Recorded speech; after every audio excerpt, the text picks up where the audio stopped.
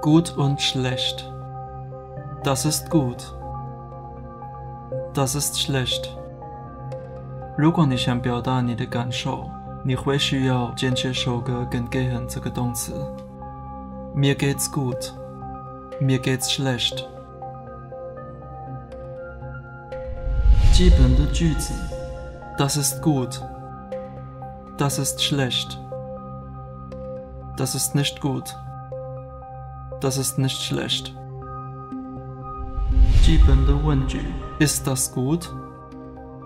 Ist das schlecht? Mein Deutsch ist gut. Sie ist wirklich eine gute Freundin.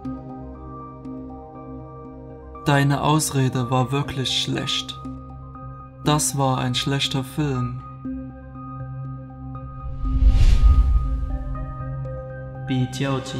Besser. Schlechter.